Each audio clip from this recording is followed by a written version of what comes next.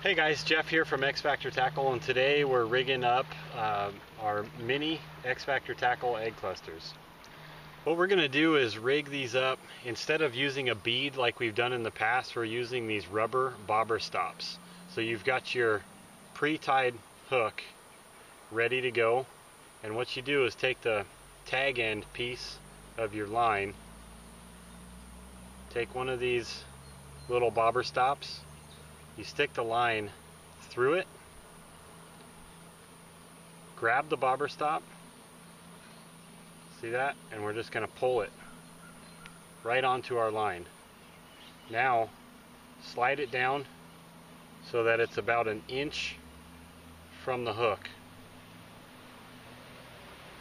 What we have here is just a basic sewing needle you can buy at any store pretty much.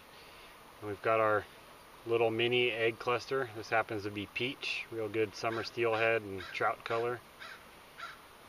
And wherever you poke the needle through, that's where it's going to end up. So what you want to do is grab the grab the tag end here.